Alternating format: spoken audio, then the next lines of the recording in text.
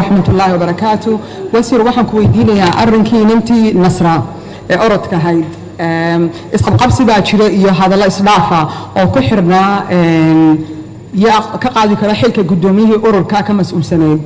Adu warqad baa qortay olombikuna warqad kale qoreen. Marka waxaas odhan kartaa in haddaa lahaydeen siyaasadda sportka sportka qaranka siyaasaddii 2018kii draftka ahayd ee meel lagu xareeyey haddaa siyaasadda la ansixin lahaa hergeli lahayd siyaasadda inuu isqabqabsi u dhici lahayn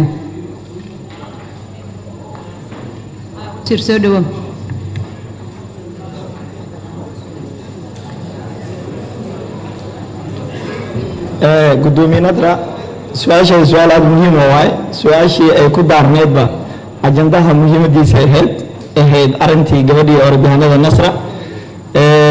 Nasra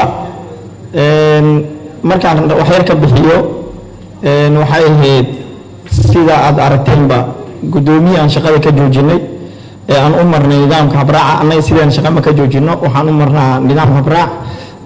Guddigood fulintaan u dirnaa. Marka nasro ma ahayn gabar qualified ku soo baxday xagga tartamada orodka. Gabar waxay ahayd guddoomiyihii shaqada laga joojiya waxay u ahayd habaryar sida macluumaadaan hayna aan rabnay inaan ka jeedin haddii waqti noo saamixi lahaa.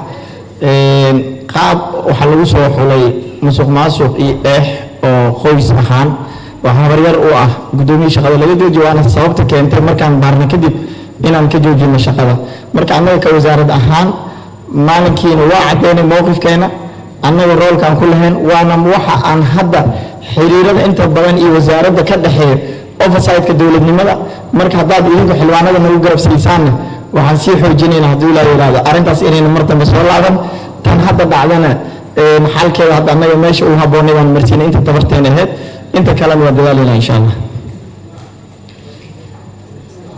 waxaan ka codsanayaa inay howlwadeennada sii qoraan xildhibaanada rabaa inay hadlaan. Ku soco xildhibaanka xiga bliis